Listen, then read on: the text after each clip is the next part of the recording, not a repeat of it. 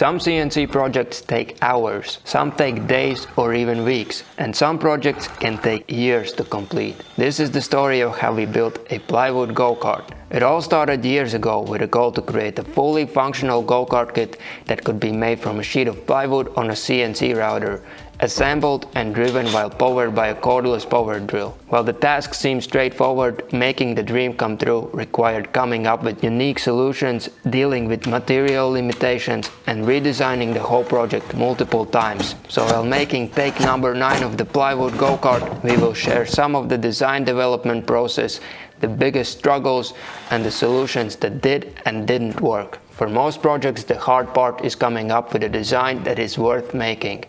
This time the challenge was amplified by the fact that we had no idea how to make plywood mechanisms for the steering and the brakes, or how to better transfer the power from the drill to the wheels. So the very first go-kart design was somewhat shot in the dark with the solutions that most likely wouldn't work, but the failures would point us into the right direction. The first prototypes were traditional looking four-wheel go-karts, but the cordless drill wasn't powerful enough to make the kart move, so we had to switch to a three-wheel option. The three-wheel design would have less wheel resistance, be lighter and therefore require less power to drive. The problem was that we had to redesign the whole project and go through the same testing cycles a couple of times until we had found the solution that worked, but more on the design choices later.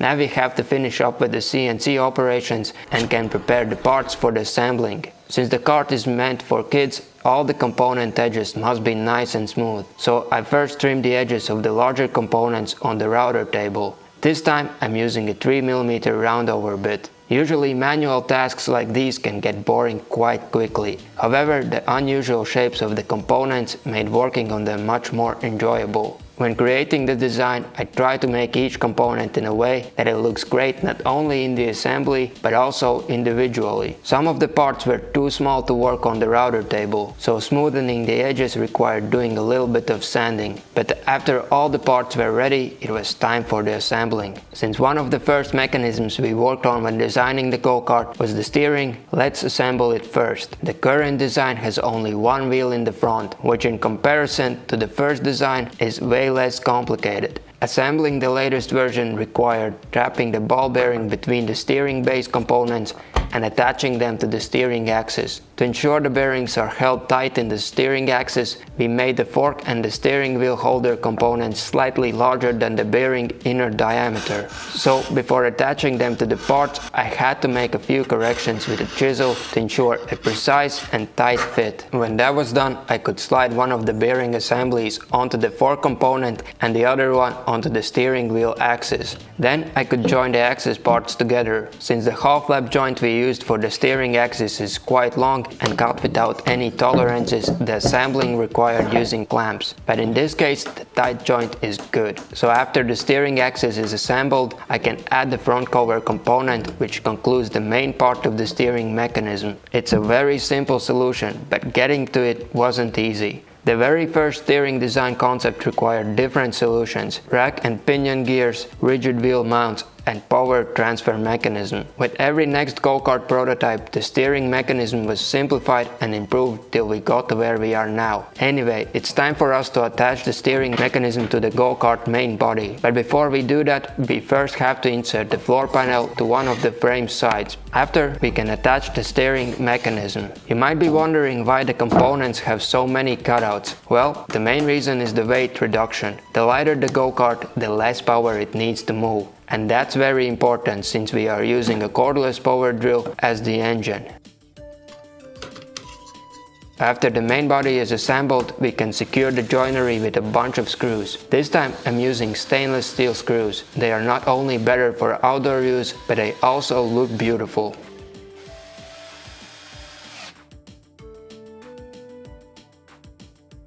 The hardest section of the project was coming up with a good way to transfer the power from the cordless drill to the back wheels. For the first prototype we attached the drill to a gear assembly that would transfer the rotation directly to the wheel axis, but it turned out the drill couldn't move the cart So we had to use multiple gears to reduce the input power needed. Of course, it would also reduce the speed, but the first priority is getting the go-kart moving. After testing out different gear ratios and assembly solutions, the go-kart could drive. The only problem was getting the components to stay in place while driving. In the previous design we made the gear axis out of plywood, which wasn't as simple to secure in place. To fix that I wanted to try out replacing the axis with a threaded rod and using different types of nuts to secure the bearings and the gears in place. I knew the gear ratios would work, however I'm not too sure about the axis. For this assembly I'm using an M8 stainless steel rod to which I will attach the ball bearings and of course the gears. The bearings are secured in place with plywood components. This also aligns the threaded rod axis properly. In the middle of the first axis we have attached the smaller size gear. It will transfer the power to the larger size gear on the second axis, this way reducing the necessary input power by a factor of 2.75. At the end of the second axis we are attaching another smaller size gear which would connect to the larger gear at the wheel axis, again reducing the input power necessary. I glued an extended nut to the power axis using high-strength threaded glue. It will join the gear mechanisms to the cordless drill, but more on that later.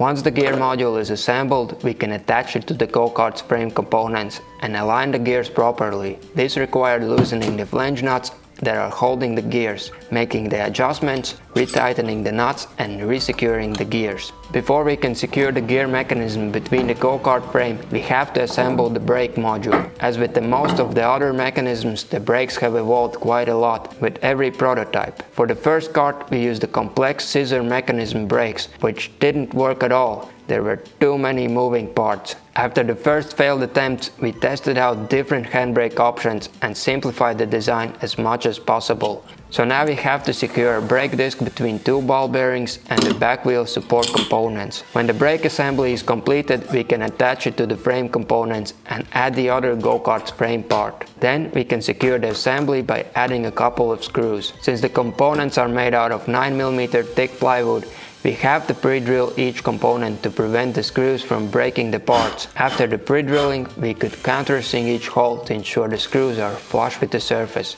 Once the back assembly is complete, we can attach it to the main frame. The assemblies are joined with the simple half-lap joints.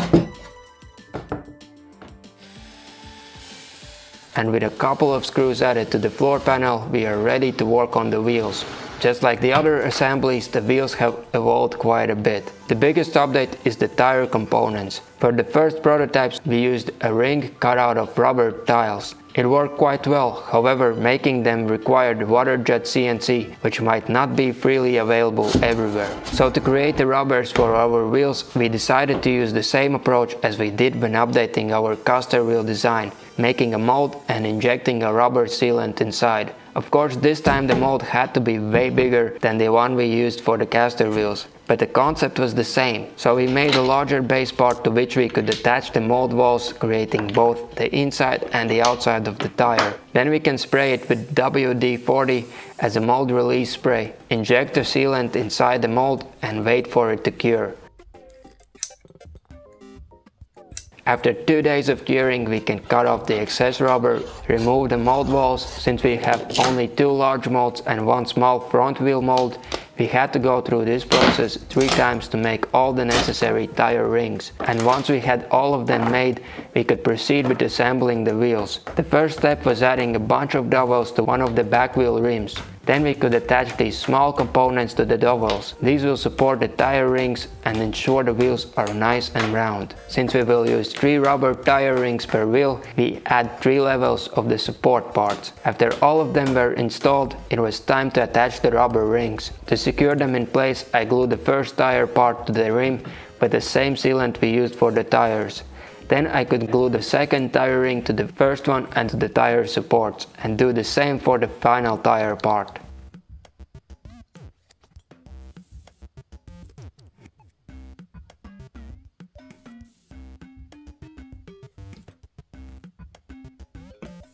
Then it was just a matter of adding a little bit of sealant to the third tire ring and attaching the wheel rim to the assembly. Just like that we had the first wheel complete and we could make the second one. We had to go through the same steps as before, adding the dowels, attaching the rubber support parts, gluing the tire rings and securing the other wheel component to the assembly. However, before repeating the assembly steps for the front wheel, we first had to secure a ball bearing in each rim. After installing the bearings, we glue a small component to the rim to cover the bearing. When the bearings are secured, we can repeat the same wheel assembling steps as for the rear wheels. Now the wheels are completed and it's time to attach them to the axis. Starting with the back wheels, I'm attaching the assemblies to the wheel axis. To secure the rims we are using flange nuts. The idea is to secure each wheel's rim component between two flange nuts, which presents some challenges when installing the wheel. The flange nuts that have to be placed inside the wheel are quite challenging to attach to the axis. There is not enough room to hold the nut and catch the thread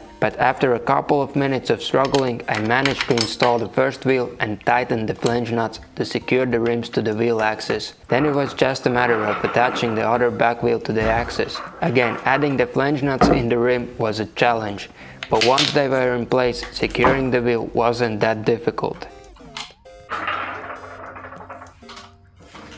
However, attaching the front wheel was a little bit easier, since all we had to do was slide the axis through the wheel and secure it with a couple of lock nuts. The trickiest part is to get the wheel right in the middle of the axis, but once it's done we can add a flange nut to both ends of the front wheel axis and attach the wheel support components. Then it's just a matter of attaching the assembly to the steering mechanism and securing the wheel supports in place. When that is done, we can secure the axis in place by adding another flange nut at the ends of the axis. Making the wheels was a lot of work, but they turned out looking incredible.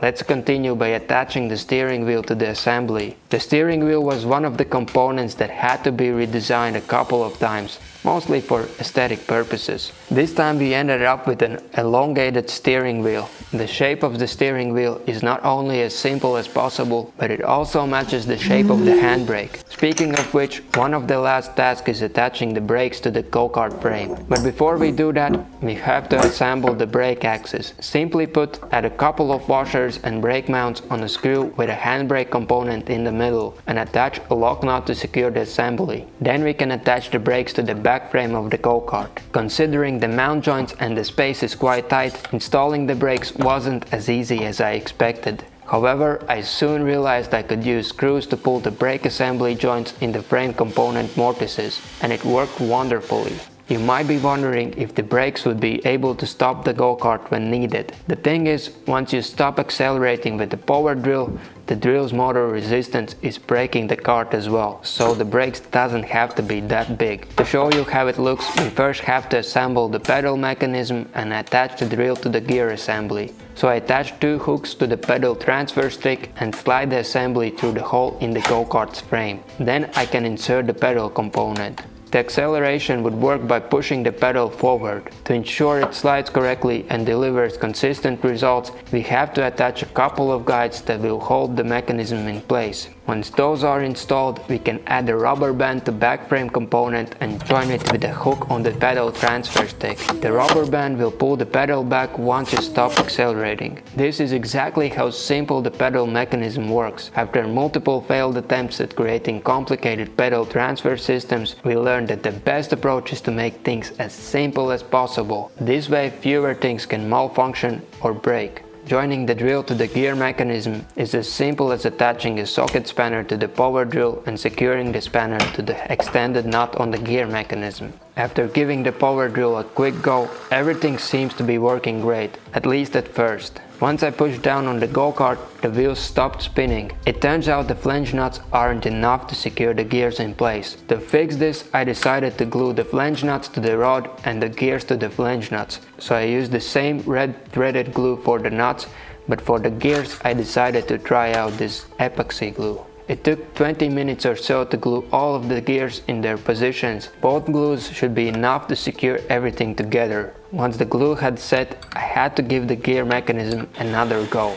The glue did indeed work. However, this time there was the same problem with the wheel. The flange nuts couldn't keep the assembly together on their own, so I added some of the thread glue to the flange nuts and the epoxy glue for the plywood parts. And the gear test after the glue had set was a success, so we could secure the power drill to the go-kart's frame with a couple of zip ties and a string to the frame's back component and join it to the hook on the pedal mechanism. Now when we push the pedal forward, the go-kart starts to move, which means we are almost ready for the first drive. The only thing left for us to do is assemble the seat for the driver. When designing the seat we kept the same simple is better philosophy, so it only has four frame components, a seat and a backrest. And attaching it to the go-kart is even easier than assembling it. We can just place the seat into the cutouts in the frame components. And it's time for the family kids to have their first test drive and enjoy the take 9 of the go-kart project. It still has some improvements that need to be made before sharing the design files with the world, but that's a story for another time. Thank you for joining us on the go-kart project and supporting our work throughout the years. And of course, thank you for watching and I'll see you next time.